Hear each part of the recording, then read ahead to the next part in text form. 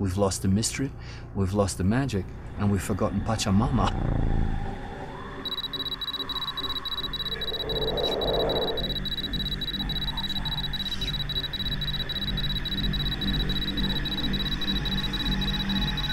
After two to three hundred years of industrialization uh, and, and technology, is that somehow uh, in the process of creating the illusion of, physical and material safety, uh, we've, we've created a kind of monstrous uh, society which has uh, almost completely severed its connections to the spiritual roots of all being.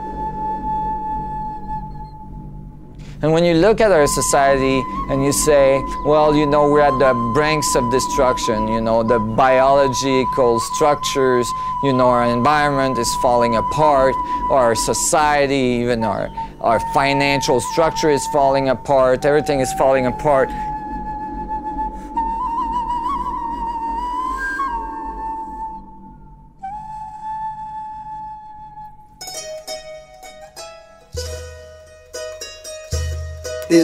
Uh, point in being pessimist and say, oh, what can we do? Everything is going bad, everything is going bad. Everything is not going bad. These things are dying. The old system is dying. So do not worry, do not moan about it. Celebrate the death of the old system. If it's collapsing, let it collapse. If it is dying, let it die. Our job is to be midwife of the new system. Now, I realize that in working for the outer peace, uh, the most valid way to work is on the inner peace because every human being who finds inner peace, of course, uh, will bring the world that much closer to the outer peace. What I what I've discovered as I as I've gone along um, is that there is a that there's an inward journey that we that we need to pursue, which is which is part of the pilgrimage process. Let us never say hopelessly, "Woo, this is the darkness before a storm." Let us rather say with faith, "This is the darkness before the dawn of a golden age of peace, which we cannot now even imagine. For this, let us hope and work and pray."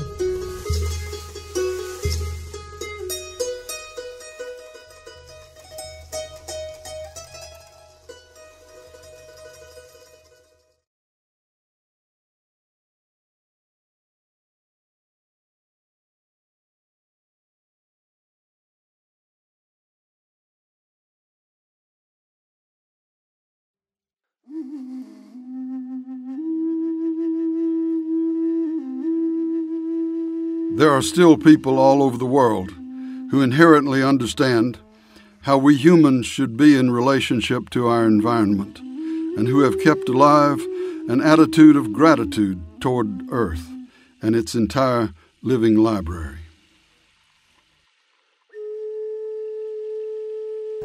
No, pero los primeros humanos, los primeros andinos, valoran, como ahora seguimos respetando, conservando la naturaleza, igualmente se dice que los primeros oh, hombres andinos, inclusive algunos que vivían en la selva, tenían gratitud a la Pachamama. La Pachamama no es tanto así un dios, no es una persona, es todo, es el complemento armónico que existe en el cosmos. ¿no? El sol es parte, la luna es parte, es un padre, es una. ¿no? Por eso hay queches intitaita, mamaquilla. Hay las estrellas que son hermanos, los cerros, los apus, que son protectores. Los lagos igual eh, son abuelos, son abuelas que, que nos oh, dan la vida, nos apoyan la vida. On the other side of the planet, Rumi knew this because he was passionately connected to the heart. He reminds us constantly that is there we must look for answers. What is the heart? It is not human and it is not imaginary. I call it you. Stately bird, who one moment combines with this world, and the next passes through the boundary to the unseen. The soul cannot find you because you are the soul's wings. How it moves. Eyes cannot see you. You are the source of light. You are the one thing repentance will not repent, nor news report. Spring comes. One seed refuses to germinate and start being a tree. One poor piece of wood blackens but will not catch fire. The alchemist wonders at a bit of copper that resists turning to gold. Who am I that I am with you and still myself? When the sun comes up, the complicated night mind of the constellations fades. Snow forms do not last through July. The heart quality embodied by our master Shams Tabriz will always dissolve the old quarrel between those who believe in the dignity of a human being's decisions and those who claim those are all illusion.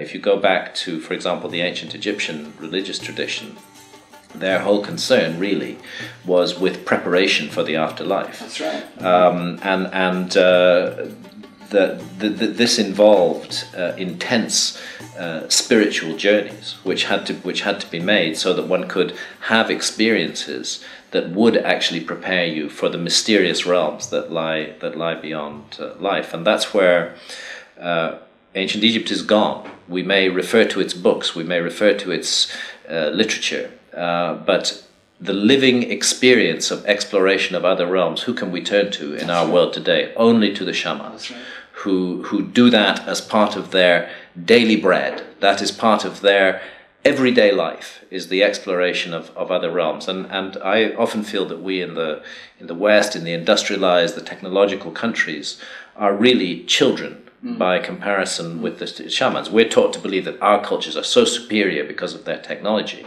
uh, but incredibly inferior, in my view, uh, in terms of spiritual exploration. And, and if we really want to, to be pilgrims in the truest of senses, then we need to listen to what the shamans have to teach us. Huele, huele medicina. Huele, huele medicina. Huele, huele medicina. Huele, huele mariposa. Huele, huele mariposa. This tradition of the use of this cactus has been going on five, six thousand years. Very old tradition. My understanding of where I've interacted with these people and asked them about their medicine, they feel that our state of well-being, if it becomes out of balance, if the material and the spiritual realm become out of balance, we're too preoccupied with the, the relative field, it throws the body out of balance. And it's going to result in sickness in whatever fashion it mm. comes. So if you go into the jungle and say, I, I need healing or I need clean, cleansing, they're, they're going to give you something that's going to make you throw up or that's going to make you shit. They're going mm. to clean you first. Mm.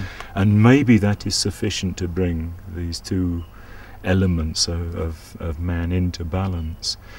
And you go down to those shamans and you start talking about these as being drugs, and you're going to hear, you're going to get a mouthful from mm, these boys. It's like this is some kind of mental conditioning from your world. But mm. this is a plant of this world, of mm. the new world. And this is a sacred medicine. It's to be treated as such. It's to be regarded as such. And so, as we're preparing the medicine and putting it in the pot and boiling it up for hours, it's important that we put our own good intentions for, for good and responsible use of this because we are the, the current day uh, tenants or adherents or making use of this, this tradition. Let us honour it fully.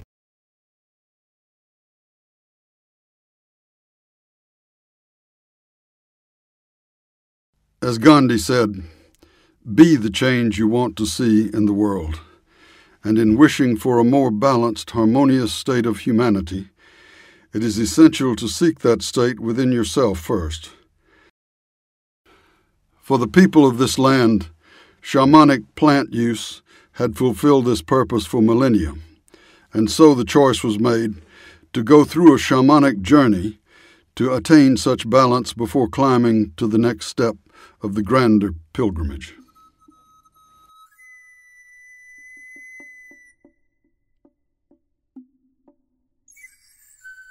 And like any journey, any, even a physical journey in mm. this world, we must prepare ourselves for it well. And we must seek the advice uh, of those who've perhaps trodden that path before. Absolutely. Because they will have something to tell us, and it would be very arrogant and stupid of us not to listen to what they've had to say. But that done, and all the preparations made, we should make the journey. I believe we should make the journey. This is part of part of what we've been offered, the giant potential that we've been offered as human beings. We shouldn't turn our backs on it, no matter the risks or the dangers. In a deserted pre Columbian sanctuary in the sacred valley of the Incas, pilgrims would do ceremony using the revered cactus Huachuma to maintain their balance and connection with Pachamama.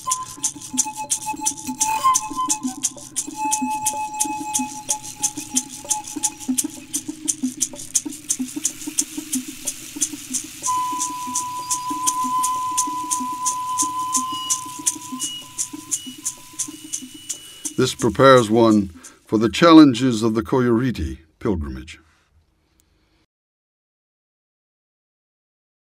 En esta fecha de la visita, que para muchos también lo llaman peregrinación a Coyoriti, es eh, nomás una forma de eh, honrar, de agradecer a la vida, a la naturaleza, porque justamente ahí hay un elemento de sustento que nos da la vida a toda la humanidad y a todos los seres, pienso, en el, en el planeta, que es el agua.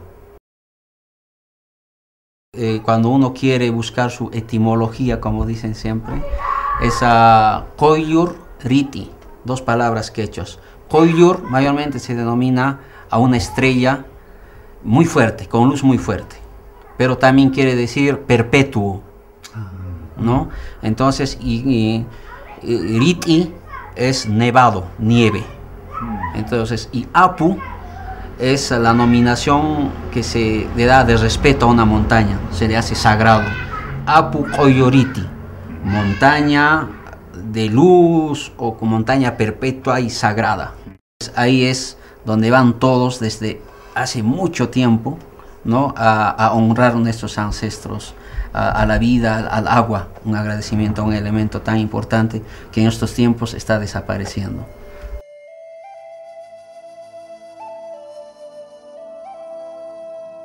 Aquí en la sociedad, en el mundo andino, existió un orden de vida, un agradecimiento, un balance muy bonito llamado Aini. Aini. ¿no? El Aini es eh, mm, saber ayudarnos, saber compartir, ¿no? Eh, brindar tu vida, sacrificar tu vida uno y otro. Y eso es, por ejemplo, lo que hace el agua. Su propia existencia está matándose incluso, ¿no?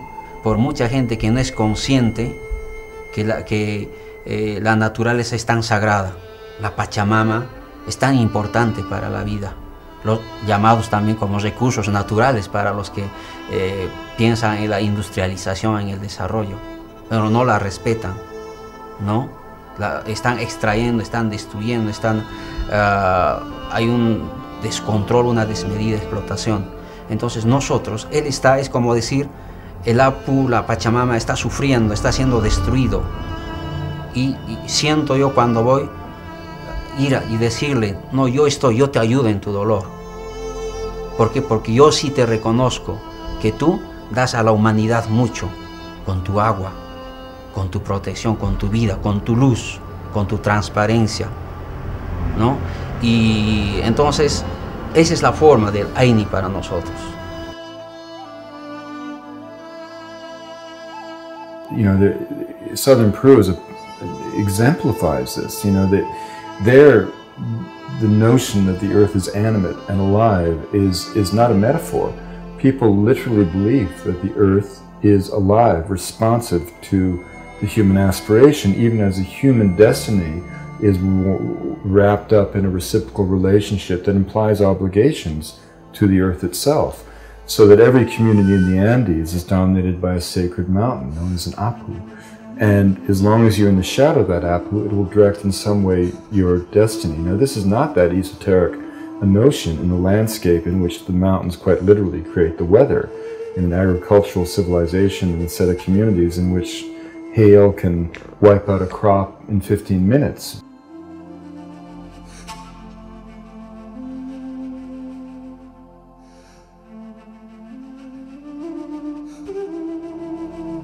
Apu Qoyllur Rit'i is the sacred mountain spirit living high up at 16,000 feet, where people go to give thanks to him and to the water he provides as part of the reciprocal exchange system these people have with the planet.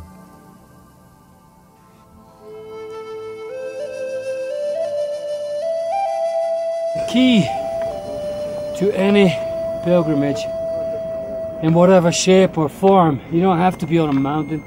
You don't have to be in Peru. You could be walking to your workplace, going to your dance hall. I mean, once you understand what the pilgrim encompasses,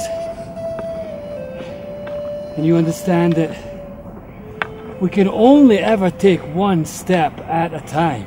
You can't take two or three. And by only taking one step, at a time. Doesn't matter how tired you are, doesn't matter how depressed you are, doesn't matter how whatever you are. If you can just do the one, you can do the other. And if you can do the other, you can do the next one. And I don't know how high we are now, but the, uh, yeah, it's getting pretty thin. Feels beautiful though. Feels beautiful to put one step ahead of another here.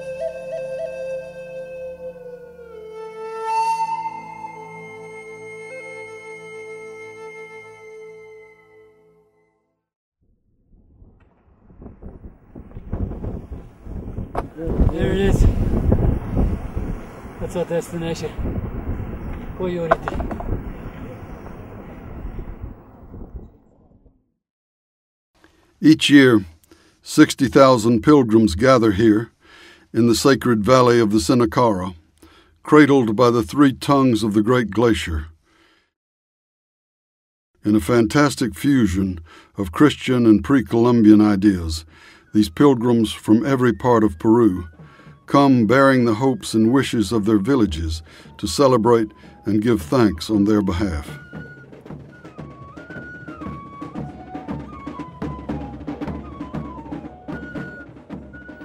It's 6:35 morning of the 20th of May and this is the penultimate moment is approaching when the rays of the sun, the first rays of the sun will strike the cross up on the ice field where we're about to walk. So let's go.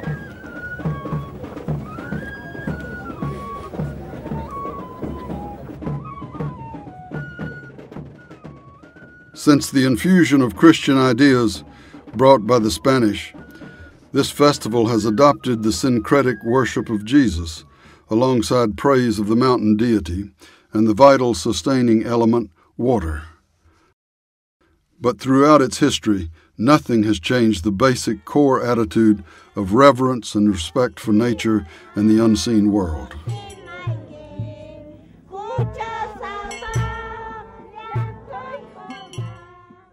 So we have this amazing dynamic going on here. We have thousands and thousands of people, the majority of who consider themselves to be Christian pilgrims. We have we have photographs of the Lord, we have paintings of the Lord, we have all things Christian. and yet we are in this entirely alien to the Christian environment environment. So it really is uh, an amazing blend of cultures, of belief systems.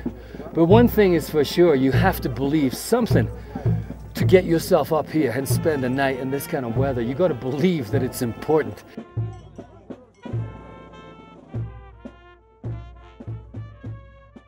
Relying on only the most basic necessities, these simple, hardy people embrace the severe conditions of high altitude, many of whom wear only sandals made of tires. They transmute themselves through this challenging situation to complete the central metaphor of going into the mountain as an individual, but through suffering and through sacrifice, emerging as a community that has once again reaffirmed its sense of place on the planet. These are real tough earth pilgrims, that's for sure. We saw a woman this morning outside our tent, and uh, she had nothing but a plastic sheet over her uh, all night in minus, must have been about minus 10 last night.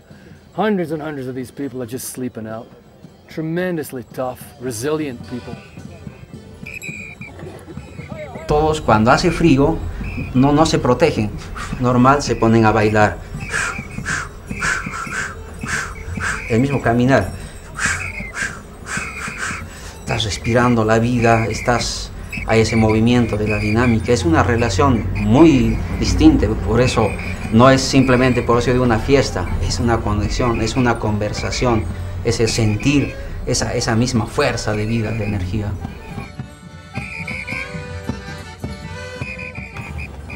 The concept of our journey, the, the Earth Pilgrim's journey, is closely related to the idea that our entire planet, Earth, seems to be preparing to go through her own, perhaps dark night, her own shivering night, her night of hyperventilation. I see, I feel many changes coming to our planet. But when I see these people here who can survive on so little, with so much power and so much dignity and so much peace, there, there is no feeling here. Everybody's going through difficulties, not just me. People who've taken their families up here, babies who may be sick, people who don't have enough to eat, have come up here against all odds to celebrate to celebrate life, to celebrate this beautiful planet, this incredible, astonishing place. And maybe in later years, when more of us have to face difficulties, we'll remember that joy is always possible, beauty is always possible, and peace is always there. If we can just allow ourselves to move into that state of mind which I call the pilgrim. If we can all get a little hint of that from these fantastic people, just a hint, it may help us all in the days ahead.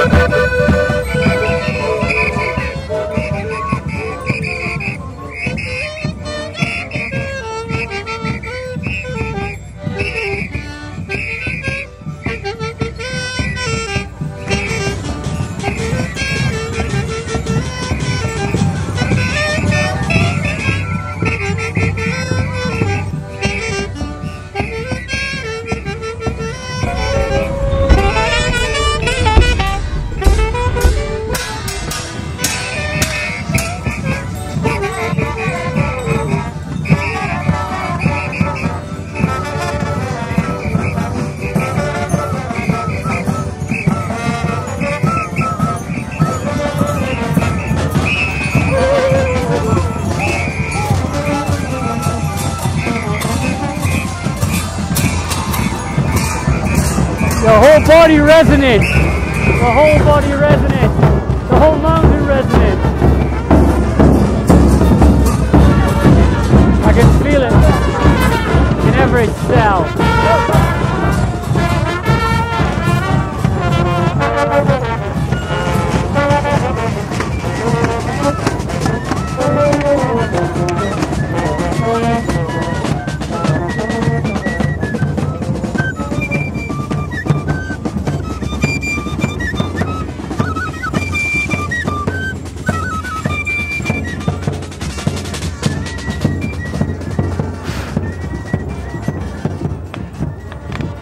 That was the most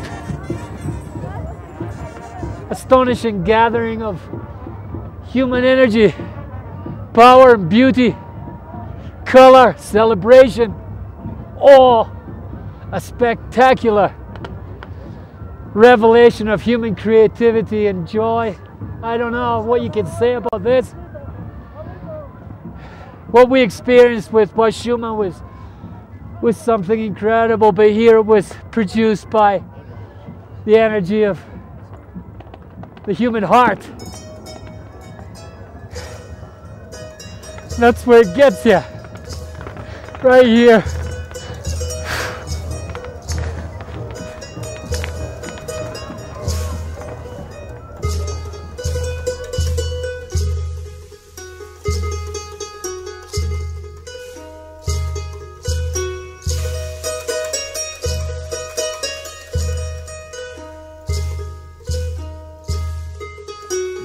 That close to 60,000 people still choose to honor God and the earth in this way suggests that a walk your talk gratitude is not a question of economics or politics, but more a change of heart.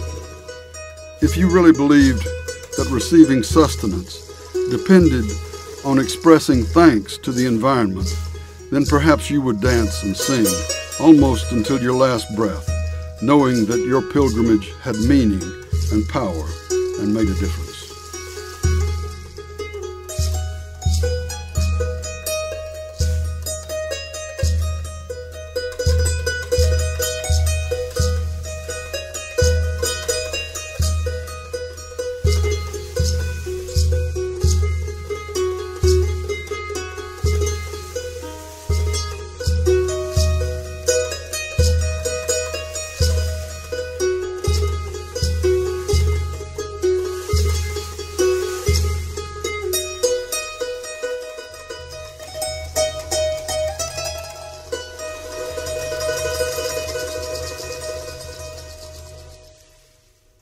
Coyoriti desde hace dos años, tres años está en la visión, no me recuerdo de qué corporación minera que quiere explotar. Y hay un proyecto, es destruir toda la montaña porque hay mucho mineral ahí. The thing that I notice so often is that um, indigenous people, when they become aware um, of these changes, they feel a personal responsibility. And this is one of the great tragedies. I mean, for example, you know, when people in the Himalaya or in the Andes um, who believe the earth is alive, believe in mountain deities, if things go uh, askew, they take it very personally. I mean, one of the most um, kind of poignant examples of that is what you experienced the Qoyllur Rit'i. I mean, traditionally, of course, the Qoyllur Rit'i is this syncretic fusion of pre-Columbian and Catholic ideas, a perfect expression of this pan-Indian world, which um, you know is as, as influenced by Catholicism as by, as it is by pre-Columbian, Incaic and pre-Incaic ideas. But pilgrimage becomes a sacred movement to the ice, so that this wonderful metaphor of taking the crosses from your community, placing them into the into the, uh, the, the tongues of the glacier that comes down over the Sinakara Valley, leaving them overnight to empower them that you can take it back to your community. But but remember as well that traditionally you also brought chunks of ice back to your community. And they've stopped doing that because they're witnessing the recession of the glaciers and they take it as their own personal responsibility and fault. And that's very moving because, of course, the trivial amount of ice that was chipped from those glaciers and brought home as the essence of Pachamama to those who couldn't participate in the pilgrimage is trivial compared to what, of course, is really happening is this recession of the glaciers.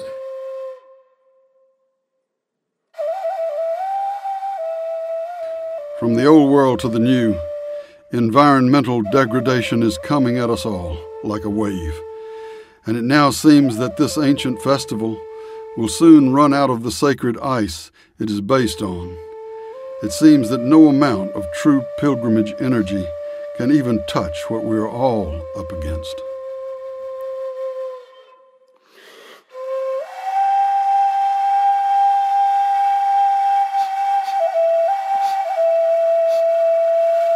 genocide, the physical extermination of a people, is universally condemned, but ethnocide, which in a sense is the destruction, either directly or indirectly, of a people's way of life, is not only not condemned in many circles, it's still promoted as yeah. development um, policy, you know.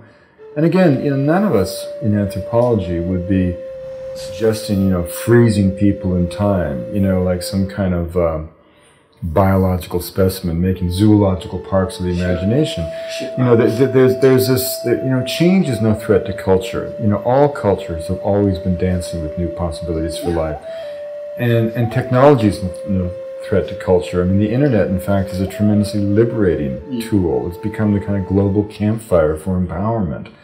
And, and I always say, you know, that, you know, uh, Lakota Sioux didn't stop being Sioux when they gave up the bow and arrow in favor of the rifle any more than the American or Canadian farmers stopped being Canadian or American when they gave up the horse and buggy in favor of the automobile. It, it's so important that, you know, we have this idea that these cultures are delicate or fragile, destined to fade away, and it's simply not true. Mm. They're not threatened by change, they're not threatened by technology, they're threatened by power. Mm. In every case, these are dynamic, living, independent peoples um, who are being driven out of existence by identifiable forces.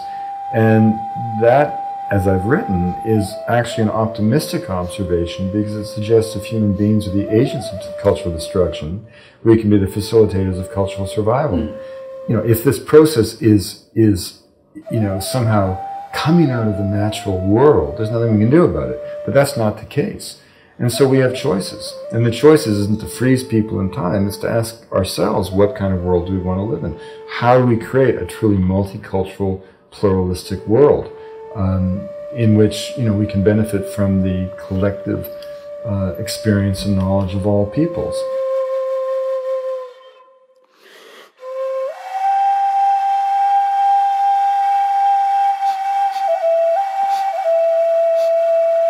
When a species literally begins to decimate the very essence of its survival options, then surely this must give us pause to consider the profound severity of our collective situation. Since we continue to do this apparently without compunction, it suggests either species wide madness or something entirely different, something we may not have seen coming.